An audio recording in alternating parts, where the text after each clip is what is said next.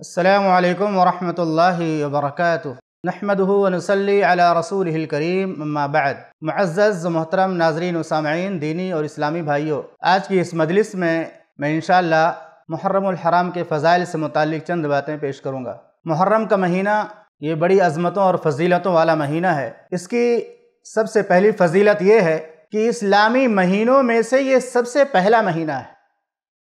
اسلامی مہینے کون سے ہیں؟ محرم سفر ربیع الاول، ربیع الثانی، اس طرح سے جو بارہ مہینے ہیں، اسلامی مہینوں میں سب سے پہلا مہینہ محرم الحرام کا مہینہ ہے۔ اور اس کی دوسری فضیلت یہ ہے کہ محرم الحرام کا جو مہینہ ہے، یہ حرمت والے مہینوں میں سے ہے۔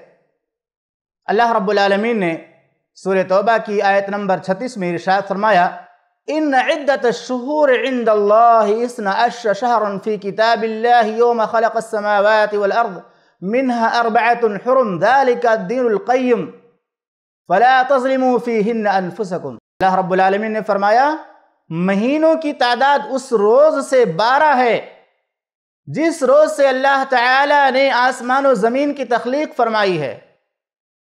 منہا اربعت حرم، اور ان میں سے چار مہینے حرمت والے ہیں۔ ان مہینوں کی وضاحت بھی محمد الرسول اللہ صلی اللہ علیہ وسلم نے اپنی حدیث کے اندر بیان فرمائی۔ ذی قعدہ ذی الحجہ محرم، رجب۔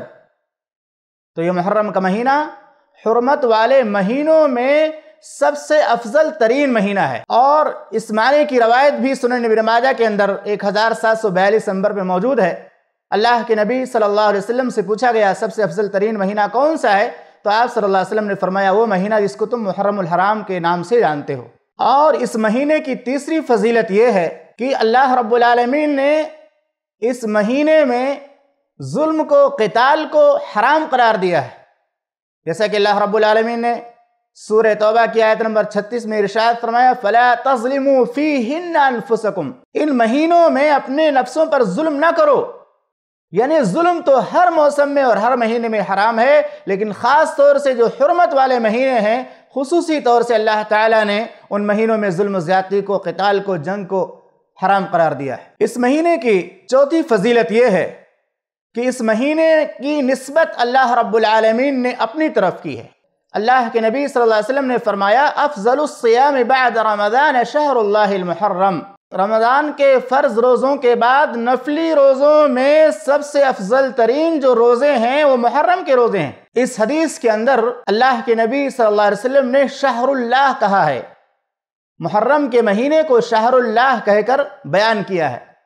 اس سے پتہ چلتا ہے کہ یہ مہینہ بڑی عظمتوں اور بزرگیوں والا ہے۔ اور اس مہینے کی پانچویں فضیلت یہ ہے کہ یہ مہینہ نفلی روزوں کے لیے سب سے افضل ترین مہینہ ہے۔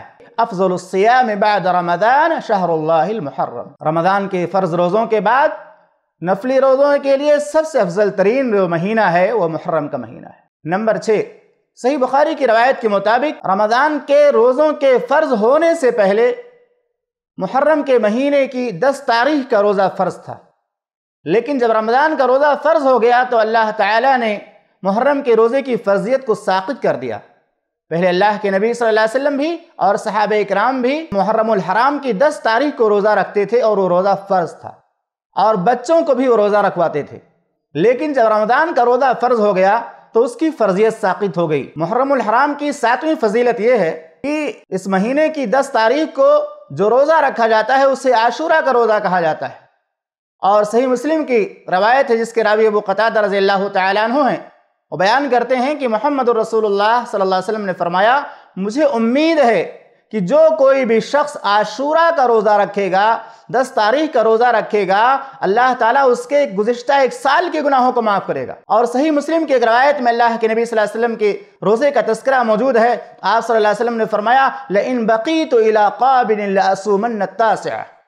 کہ میں نے دس محرم الحرام کا روزہ رکھا ہے، لیکن اگر آئندہ سال میں زندہ رہا تو میں نو تاریخ کو بھی روزہ رکھوں گا یعنی محرم کی نو تاریخ کو بھی روزہ رکھوں گا اور محرم کی دس تاریخ کو بھی روزہ رکھوں گا۔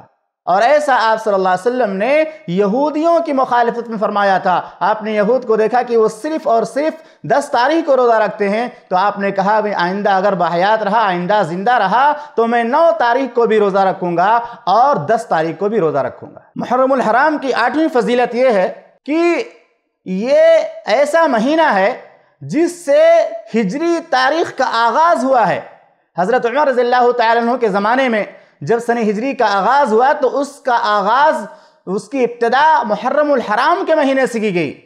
یعنی حضرت عمر رضی اللہ تعالیٰ عنہ کے دور میں، حضرت عمر رضی اللہ تعالیٰ عنہ کے دور خلافت میں جب اسلامی تاریخ کا سلسلہ شروع ہوا اور اس ہجری تاریخ کا آغاز ہوا تو اس کی شروعات محرم کے مہینے سے کی گئی۔ یہی وہ مہینہ ہے جس مہینے میں یا جس مہینے کی دس تاریخ کو اللہ تعالیٰ نے موسیٰ علیہ السلام کو اور بنی اسرائیل کو فرعون کے ظلم سے نجات عطا کیا۔